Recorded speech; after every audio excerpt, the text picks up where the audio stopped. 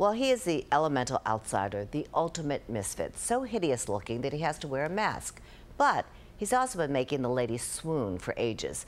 In this week's Backstage on Broadway, Tamsen Fadal has a date with the most mysterious matinee idol of all time.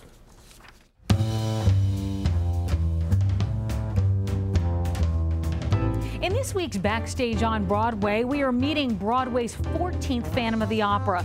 Now, we don't know the Phantom's true name, but we certainly know the name of the actor portraying him, Norm Lewis. It's the longest running show on Broadway. It's broken just about every record there is. Ah!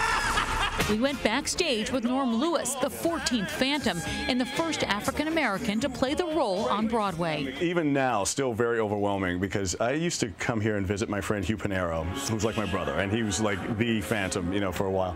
You know, so I would kind of imagine being in this room, like, wow, this would be so cool if I, this was mine. And for now, it is. It's a great responsibility. You know, it feels good. You know, people want to root for you and support you, and knowing uh, the importance of of this role and um, and what's expected of this role. This character is so exposed, and you have to be in top form to be able to do these songs.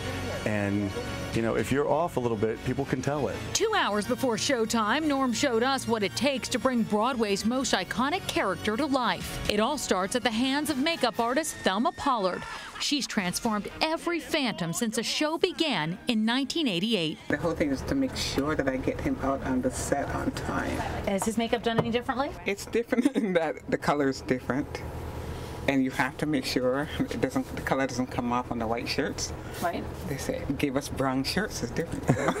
he seems to be completely unreceptive. Norm, no newcomer to Broadway, having made his debut in the Who's Tommy in 1993, then The Little Mermaid, and he took home a Tony nomination for Porgy and Bess in 2012. Oh,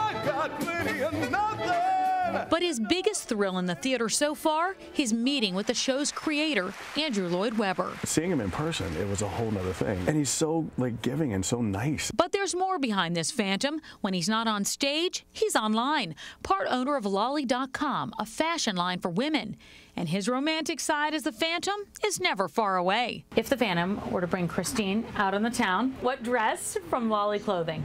One of my favorites is called the Viola dress. It's this beautiful form-fitting dress and it's very sexy. Do you know how many women go, oh, it's so romantic?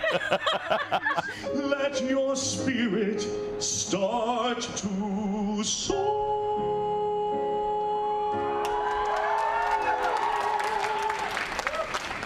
And if you want to hear the rest of that song, you got to come to the Majestic Theater.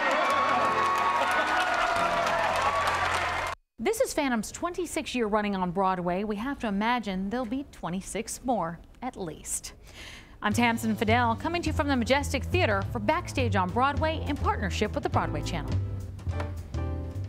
And at some point next month, the Phantom of the Opera will surpass 11,000 performances at the Majestic Theater, stretching its lead as the longest running show on Broadway even farther.